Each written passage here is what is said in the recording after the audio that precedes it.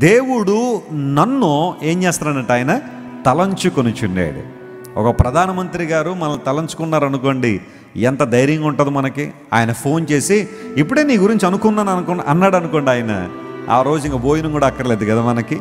ఒక రాష్ట్రపతి గారు మనల్ని తలంచుకున్నారనుకోండి చాలా ఆనందంగా అనిపించదు ఒక సెలబ్రిటీ ఎవరైనా ఫోన్ చేసి ఇప్పుడే మీ గురించి ఆలోచన చేసాం మీ గురించి మాట్లాడుకున్నాం అన్నారనుకోండి చాలా ధైర్యంగా అనిపిస్తూ ఉంటుంది.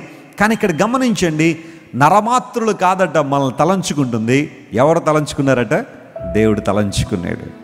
సెలువలో యేసు ప్రభువారు మరణించినప్పుడు ఆయన తలంపుల్లో నువ్వే ఉన్నావు అన్నాడు దేవుని సేవకుడు. చెప్పండి సిలువ మీద ఏసై మరణించినప్పుడు ఆయన ఆలోచనలు ఎవరున్నామట?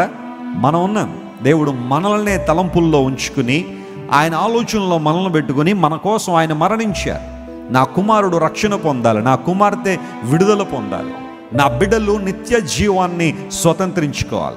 పరలోక రాజ్యమైన నా రాజ్యంలో వారందరూ ఉండాలనే ఆలోచనతోనే యేసు ప్రభు నీ కొరకు నా కొరకు కలువరి సిలువలో ఆయన శ్రమ పొందారు.